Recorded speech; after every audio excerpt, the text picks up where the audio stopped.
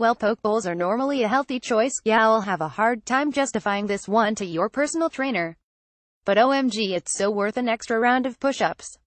Meet the Mr. Crackles Pork Bowl.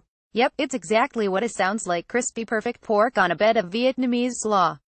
And they trade late on Fridays and Saturdays so it's a perfect alternative to the usual late night kebab.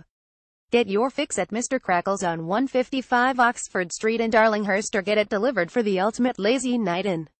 Enough words relax your eyeballs with this video Jason Sarah finally reveal what they think of Ronnie Georgia.